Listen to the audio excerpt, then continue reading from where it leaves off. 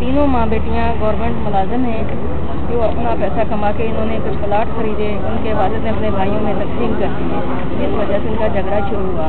उन्होंने एहतजाज किया इस हवाले से कि हम अपनी इजाज़त नहीं देना चाहते, प्रॉपर्टी किसी को नहीं देना चाहते, हमारी इतनी कमाई की है।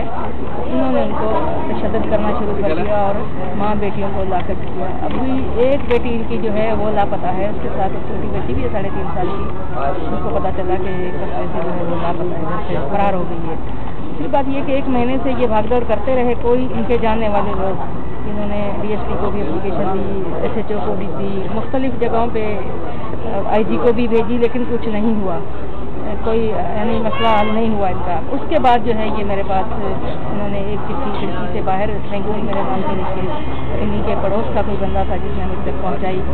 उनको मैं पहले भी मदद इसी कर चुकी हूँ इसी हवाले से मेरे तक पहुँचाई तो मुझे उस दिन जाना था, पंजाब जाना था, फिर भी मैं जाते जाते अपने नाम से एप्लीकेशन बना के जब को लेके गई। उसने मुझे सात तारीख दी थी।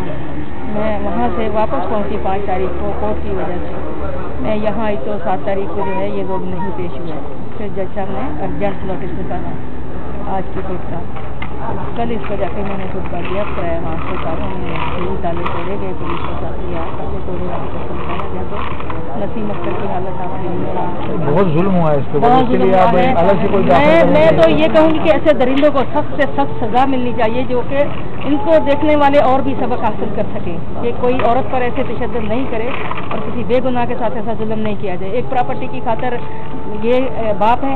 मैं तो समझूँ कि ये दरिंदे हैं। ऐसा बाप नहीं होता कि जो जीते जी अपनी औलाद को यतीम कहलाए।